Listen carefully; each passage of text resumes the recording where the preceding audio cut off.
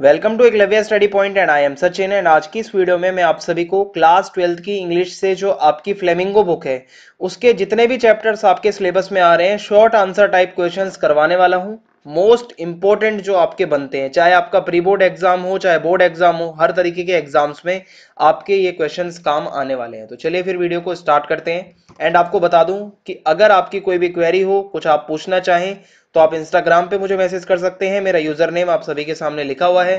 और अगर आप हमारे टेलीग्राम चैनल को ज्वाइन करना चाहते हैं तो class twelve ESP new group search मारकर टेलीग्राम चैनल को भी आप ज्वाइन कर सकते हैं। सो so, सबसे पहले chapter one the last lesson जो है आपका उसके इंपॉर्टेंट क्वेश्चन एंड आंसर्स मैं आपको बताने वाला हूँ। धीरे धीरे आपको सारे चैप्टर्स जितने भी हैं वन शॉट वीडियो है ये सो आपको एक ही वीडियो में सब कुछ मिल जाएगा। तो आइए देखते हैं। पहला question what changes did the narrator find in the school when the order from Berlin came so कौन सा ऑर्डर आता है उससे क्या चेंजेस होते हैं?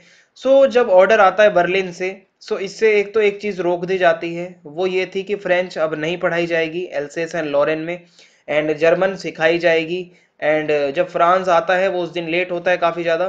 जो नॉर्मल चहल पहल होती थी स्कूल्स में वो नहीं थी। जो आवाज़ आती थी डेस्क वगैरह की वो भी नहीं थी। लेसन की आवाज़ भी नहीं आ रही थी। टीचर के रूलर की आवाज़ भी नहीं आ रही थी सब कुछ शांत था क्वाइट था और फ्रांस काफ़ी सरप्राइज़ था क्योंकि उसके टीचर एंग्री नहीं थे और बहुत पोलाइट थे उस दिन। अगला question what was unusual about M M L dress on his last day in the school क्या आ, कुछ अजीब सा लग रहा था एम एम एल की ड्रेस में? सो एम एम एल ने अपनी सेरेमोनियल क्लोथ पहने हुए थे जो कि वो बहुत खास मौकों पर पहनते थे। उन्होंने एक ब्यूटीफुल ग्रीन कोट पहना हुआ था एक फ्रिल्ड शर्ट पहनी हुई थी और एक little black embroidered silk cap पहनी हुई थी उन्होंने कढ़ाई करी हुई। और वो जब ही पहनते थे जब कुछ खास मौके होते थे जैसे कोई प्राइज गिविंग सेरेमनी होती थी इंस्पेक्शन होता था तभी। Who occupied the back benches भाई क्लासरूम के बैक बेंचेस पे कौन बैठा था और क्यों बैठा था? सो so, जो गाँव के बुज़ुर्ग लोग थे एल्डरली लोग थे वो बैठे हुए थे। वो फ्रेंच लैंग्वेज सिखाने के लिए एम हेमल का धन्यवाद करने के लिए वहाँ पर बैठे थे कि इतने साल एम एल ने जो अपनी सर्विस दी, उसके लिए वो धन्यवाद कहने आए थे। अगला question why did Franz not want to go to the school that day so Franz उस दिन स्कूल नहीं जाना चाहता था क्योंकि उसने अपने लेसन को प्रिपेयर नहीं किया था पार्टिसिपल का टेस्ट होना था और, क्योंकि वो प्रिपेयर नहीं था तो उसको डर था कि उसके जो फ्रेंच के टीचर हैं वो उसको डांटेंगे। सो इसीलिए फ्रांस नहीं जाना चाहता था। अगला question what did the French teacher tell his students in his last French lesson क्या एमएमएल कहते हैं अपने आखिरी लेसन में?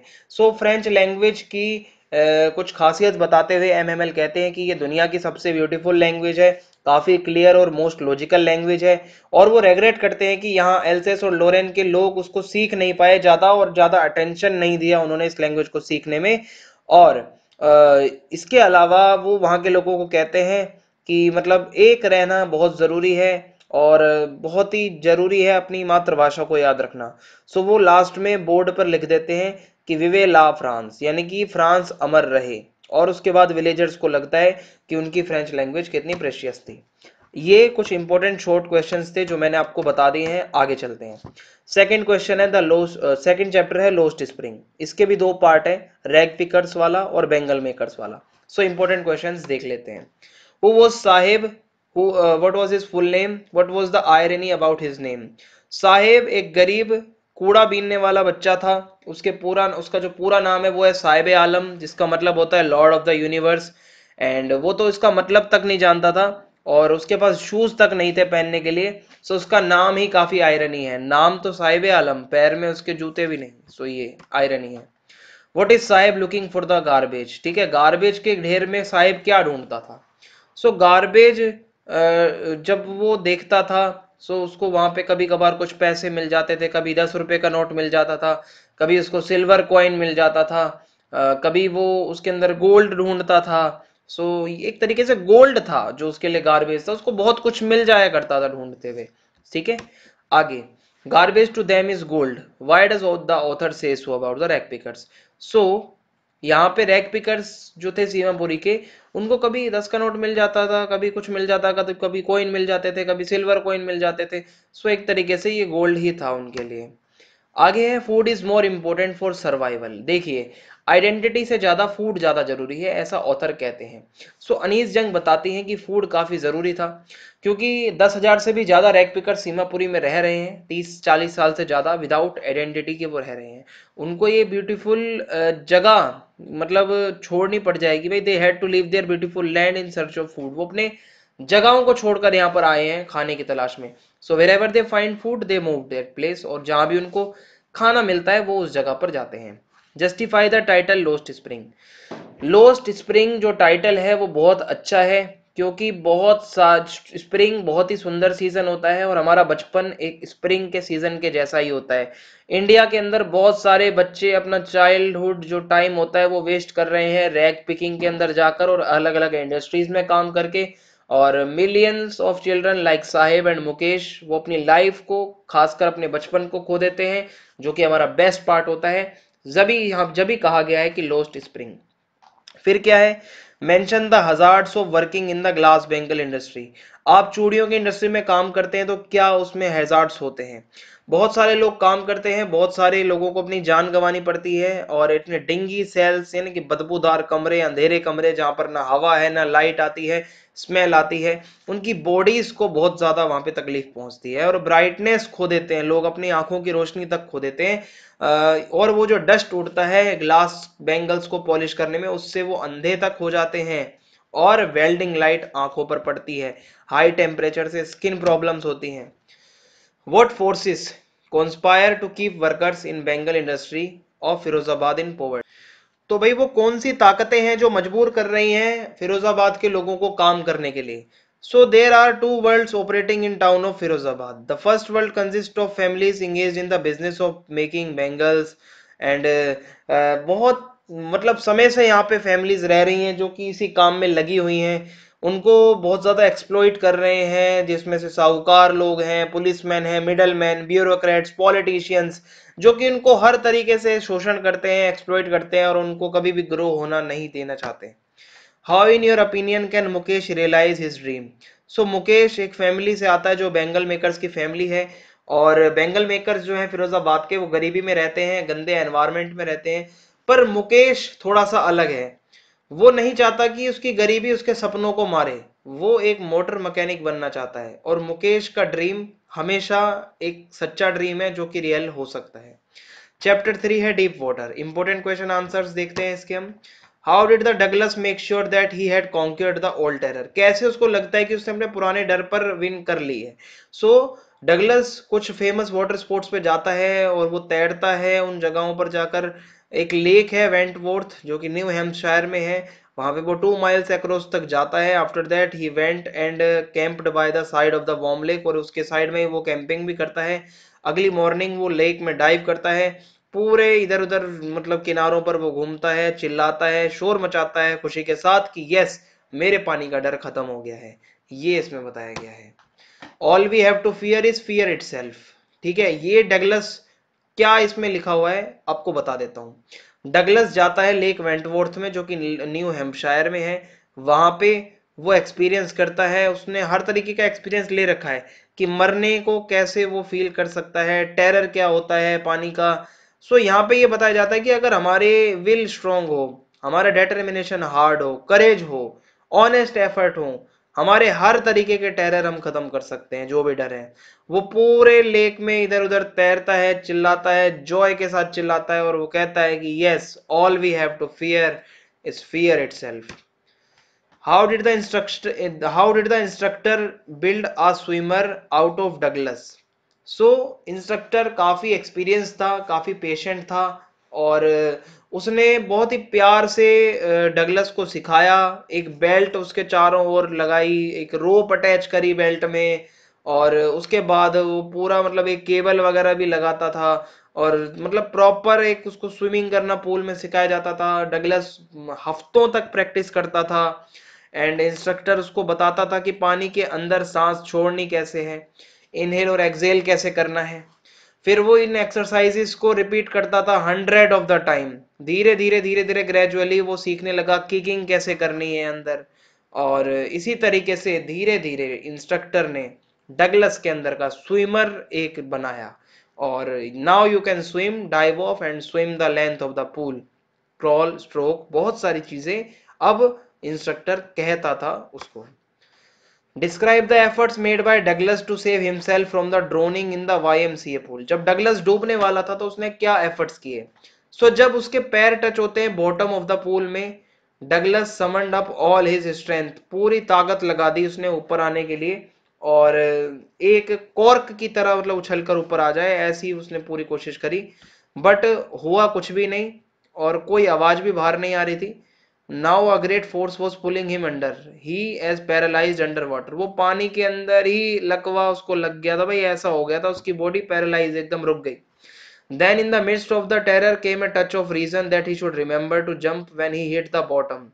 और as soon as he felt the tiles under him जब उसको लगता है कि भाई टाइल्स टच हो रही हैं he reached out his toes towards them and jumped again. वो दोबारा अपने पैरों को टिकाकर वहाँ पे ज़ोर लगाता है ऊपर उछलने के लिए पूरी स्ट्रेंथ के साथ yet again the jump didn't make any difference और दोबारा कोई भी मतलब फ़र्क नहीं पड़ता उसके जंप से चारों तरफ़ उसके पानी होता है और वो आवाज़ लगा रहा होता है हेल्प के लिए पर फाइनली उसके सारे एफर्ट्स जो होते हैं मतलब he ceased all his efforts and decided to relax as blackness swept over his brain वो पूरी तरीके से भाई उसके अंधेरा छा जाता है उसके दिमाग के ऊपर उसकी आँखों के ऊपर।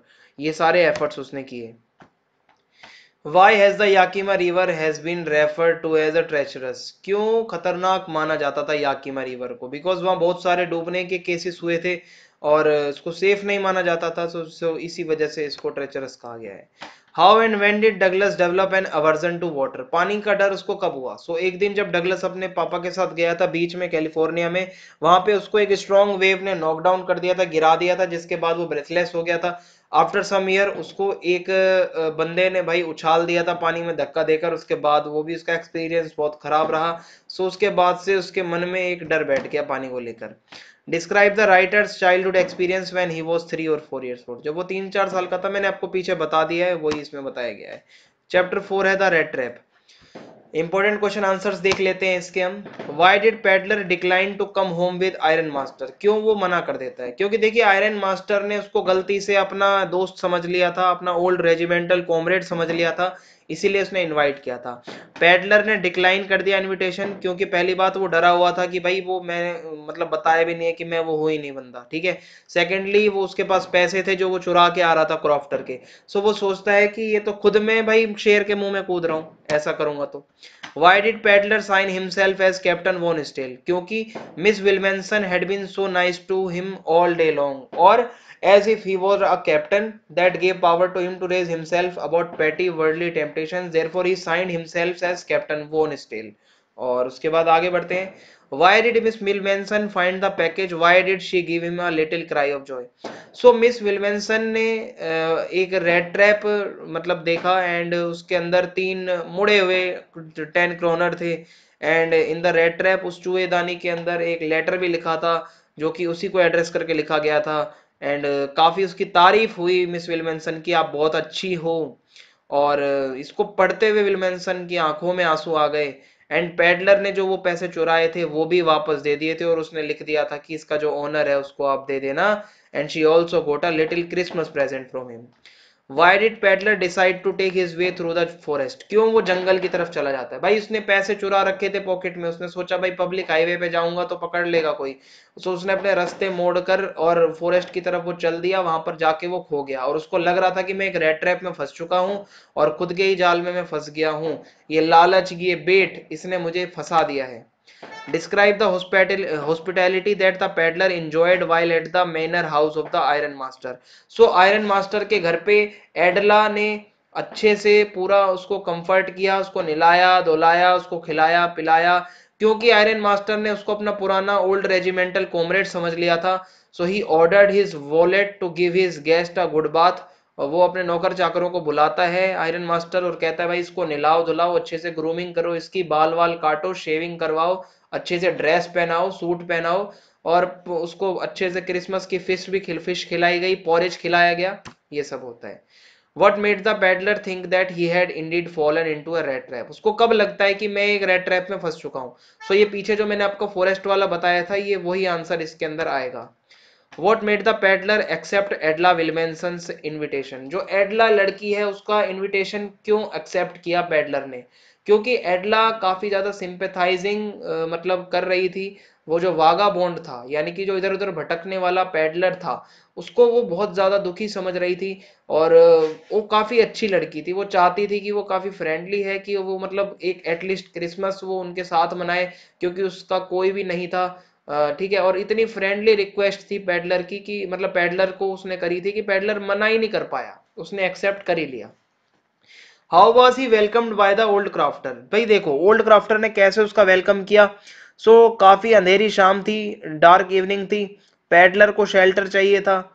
उसने दरवाज़ा खटखटाया एक झोपड़ी का कोटेज का। और he expected sour faces to greet him but surprisingly he got the hospitality of an old crofter उसको काफ़ी अच्छी भाई सेवा मिली। ओल्ड क्राफ्टर को भी खुशी हुई कि कोई उसके साथ अब बात करेगा, उसका अकेलापन दूर हो जाएगा और उसको खाना पीना खिलाया, उसके साथ जॉलिस भी खेला उसने। सो ये सब है। नाउ चैप्टर फाइव है indigo. Important question answers so Rajkumar Shukla को एक रिजोल्यूट क्यों कहा गया है? सो राजकुमार शुक्ला चाहते थे गांधी जी चंपारण में आए, पर चंपारण काफ़ी दूर था गांधी जी बिज़ी भी थे उस टाइम पे, और वो अदर पार्ट्स में घूम रहे थे।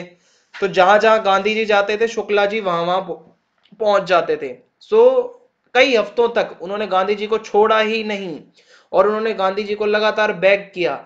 कि आप एक डेट फिक्स करिए और आ जाइए। इतने मंथ्स के बाद, देखने के बाद गांधी जी को लग गया कि भाई ये बंदा बहुत डिटरमाइन है रेजोल्यूट है। How did Shukla succeed in persuading Gandhi to visit Champaran?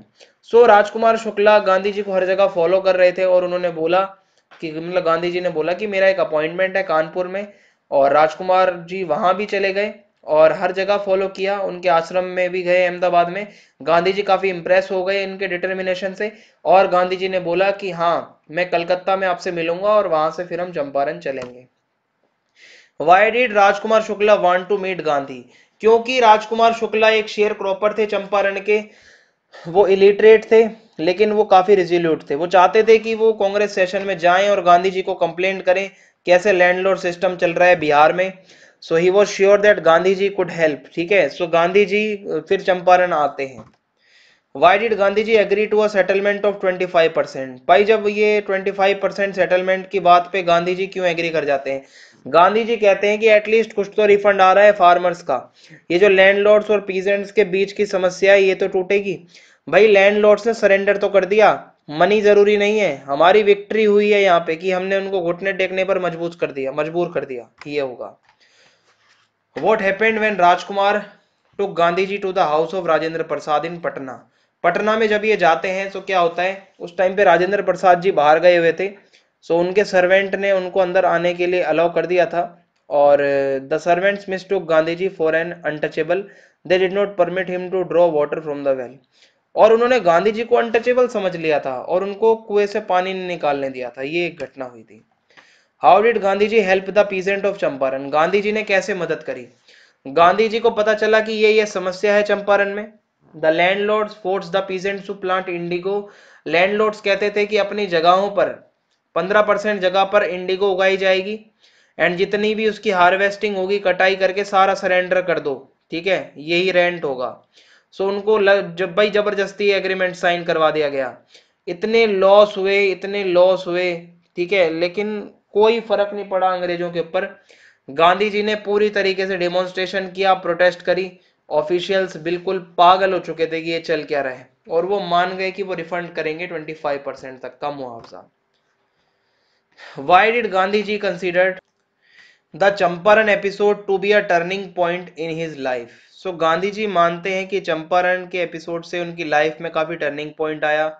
It was then that he decided to urge the departure the British from India वो चाहते थे कि अब ब्रिटिशर्स को चला जाना चाहिए। एंड ये सिविल ओबीडियंस डिसोबीडियंस का भी पहला एक्सपेरिमेंट था। When Gandhi ji was on his way to Champaran he stayed in Muzaffarpur Muzaffarpur में वो रुके जहाँ वो लॉयर से मिले जो कि शेयर क्रॉपर्स का केस लड़ रहे थे। एंड uh, काफ़ी ज़्यादा डरे हुए थे जो फार्मर्स थे जितने भी। और गांधी जी कहते हैं कि लॉ कोर्ट्स तो यूजलेस हैं। The real relief for them was to be free from fear सबसे मेन बात है, इनको डरना नहीं चाहिए। So the spontaneous demonstration by the peasants when Gandhiji was produced in court showed that they were instilled with a new strength and spirit. Gandhi ji को जब अंग्रेज़ों ने कोर्ट में बुलाया सो बाहर डिमोन्स्ट्रेशन चल रहा था। और इतना खतरनाक था कि भाई सभी को पता चल गया कि अब एक नई स्पिरिट के साथ ये सभी लोग हमारे अगेंस्ट हैं। Gandhi ji showed the poor peasants, how to fight with the British. Gandhi ji ने सिखाया सत्याग्रह के साथ कैसे लड़ते हैं हम अंग्रेज़ों से। और उन्होंने पावर्स को भी बताया कि अवेयर करवाया, ये आपकी पावर है। और यहीं से आगे के फ्यूचर मूवमेंट्स भी जो थे गांधी जी के, उसकी फाउंडेशन पड़ी और ये हो जाएगा। अगला चैप्टर है number six poets and pancakes इसके इंपॉर्टेंट क्वेश्चन आंसर्स देख लेते हैं। Who was the English visitor to the studios and what was the purpose of his visit so the English man who visited the studios was Stephen Spender ये Stephen Spender था, जो कि एक English poet था और एक editor भी था ब्रिटिश पीरियोडिकल द एनकाउंटर का। वो स्टूडियो आता था ताकि वो एक स्पीच दे सके at the invitation of mister Vasan who was the boss of Gemini Studios so he was unable to establish a report with his dazed audience no one really understood the purpose of his visit कोई जानता नहीं था कि क्यों आ रहा है वो। Even his identity was discovered by Ashok Mitran years later that too by sheer dance sheer chance भाई, उसकी आइडेंटिटी भी बहुत बाद में पता चली, जो कि अशोक मित्रन ने ढूंढी। Describe the makeup room of Gemini Studios as describe by the author so makeup room कैसा था? Look like a hair cutting salon with incandescent lights lights बहुत सारी है सैलून जैसा लगता है, कमरा काफ़ी गर्म है। हर एंगल से वहाँ पे मिरर्स लगे हुए हैं, काफ़ी हॉट है, क्या मतलब अंदर का जो पूरा रूम है मेकअप वहाँ पे किया जाता है, इसलिए इसको एक फियरी मिजरी भी कहा गया है। What kind of effect does Ashok Mitran style of writing है reader so Ashok Mitran satirical style of writing has an underline tone of humour which highlight the human foibles so the description of the events and the and the people at the Gemini Studios make the reader identify the common foibles in people present, not just in the story, but also in real life. कि भाई, ये जो common से कुछ foibles हैं, वो सिर्फ़ story में नहीं रियल लाइफ में भी लोगों के हैं। Why was Gemini Studios a place of national integration in India क्योंकि यहाँ पे अलग अलग कम्युनिटी से लोग काम करते थे। मेकअप डिपार्टमेंट के अंदर एक बंगाली हेड कर रहा था, और उसके बाद एक महाराष्ट्रियन भी था। And he was assisted by Dharwad Kannadiga and Andhra Madras Indian Christian and Anglo Burmese and the local Tamils ये सारे ही थे। सो so इसीलिए इसको नेशनल इंटीग्रेशन भी कहा जाता है कि ये, कि इसने सभी लोगों को जोड़ा। Why does Ashok Mitra call Subbu a charitable and improvident man so Subbu had a genuine love for any one he came across so his house was permanent residence for dozens of relation and acquaintance so hence the writers call him charitable and बहुत सारे लोग उसके जो acquaintances थे, वो आके रहते थे, उसके रिलेटिव्स उसके साथ में आके रहते थे, उसके घर में परमानेंट लीज लिखा गया है। Why was Gemini Studios favourite haunt of the poets Gemini Studio had an excellent mess with supplied coffee होल्डे भाई, वहाँ का जो मेस था, काफ़ी अच्छा था।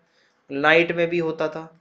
It provided satisfying entertainment required for poetry where everyone enjoyed and praised Gandhi over a cup of coffee सभी लोग गांधी की तारीफ़ करते थे कॉफ़ी पीते पीते what is the fiery misery to दो subjected to pancake makeup so ये पीछे मैंने आपको बता दिया है मेकअप रूम वाला ही है How did the people of Madras and those of Gemini Studios respond to the plays staged by Moral Re-Armament uh, Army? Why was the Moral Re-Armament Army welcomed at Gemini Studios? So the Moral Re-Armament Army was warmly welcomed in Gemini Studios because it was a big change from their usual routine of crowd actors. So the multicultural group of people from 20 countries brought a whiff of fresh air at Gemini Studios. इसीलिए वो उनको welcome करने के लिए खड़े थे सातवां chapter अब हमारा है द इंटरव्यू इसके इंपॉर्टेंट क्वेश्चन आंसर्स देख लेते हैं कौन कौन से हैं why do you think Christopher Silvester describes the view points of other and authors when discussing the concept of an interview support your opinion with reference to any one writer cited cited so जब वो बात करते हैं interview के concept के बारे में सो Christopher Sylvester mention करते हैं कि what other writers and authors have said about it so that his point of view was not the only one in the introduction so वो बताते हैं कि सिर्फ़ मेरा ही पॉइंट ऑफ़ व्यू ना रहे। An interview always is about multiple perspective interview के multiple perspective होते हैं। Hence Silvester honoured other perspective by mentioning them फिर आगे है यहाँ पे, अगर हम यहाँ पे देखें।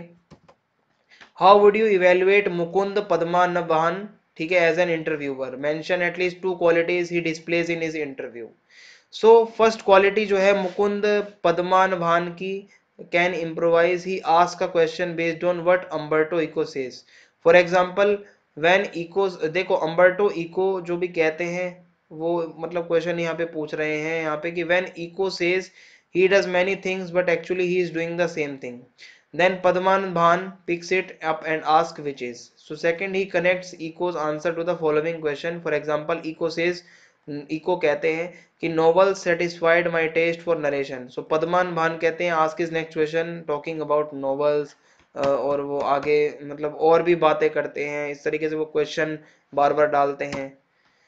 What is Umberto Eco's concept of interstices ये हमें बताना है। So according to Umberto Eco हमारी लाइफ जो है, जो हमारी our life consist of empty spaces between activities like travelling in an elevator ठीक है? These are the interstices which he used to write articles and other works. What are some of the positive views on interviews? So, interview एक काफ़ी young medium है, जो कि 130 साल पुराना है and it has become a staple form of journalism journalism की भी एक स्टेपल फॉर्म है ये। ये काफ़ी वाइड विविड इम्प्रेशन देता है कंटेम्प्रेरीज का who are being interviewed and it is an enormously effective medium of communication communication का भी अच्छा मीडियम है। What was distinctive about Umberto Eco's academic writing. So, while other academics pursued a depersonalized, dry and boring style in their scholarly work, Umberto Eco used a personal style with a playful quality to write his scholarly work. So this ये इसकी जो लिखने का तरीका था जो उसका scholarly work है वो काफ़ी अलग क्वालिटी का है बाकी लोगों का अलग है यही इसको बाकियों से अलग बनाती है चैप्टर एट है अब हमारा going places important question answers देख लेते हैं हम why didn't Sophie want Jansie to know about her meeting with Danny Casey क्यों सोफी नहीं चाहती थी कि जेंसी को पता चले कि वो डैनी कैसी से मिली है Sophia sorry Sophie didn't want to uh, Jancy to know about her meeting with Danny because she was telling a story that was just for Geoff. So besides Jancy was a chatterbox and वो मतलब उसके पेट में बात नहीं पचने वाली अगर बता दिया तो पड़ोस में अड़ोस में हर जगह चल जाएगी इसलिए नहीं बताया What was the only occasion in which Sophie got to see Danny Casey? So वो कौन सा ओकेशन था जिसमें सोफी डैनी कैसी को देख सकती थी? जो ओनली ओकेशन है वो था सैटरडे जब वो अपने फादर और ब्रदर के साथ जाती है फुटबॉल मैच देखने जिसमें डेनी कैसी की फुटबॉल टीम यूनाइटेड खेल रही थी। Did Geoff keep his promise to Sophie क्या उसने अपना प्रोमिस रखा?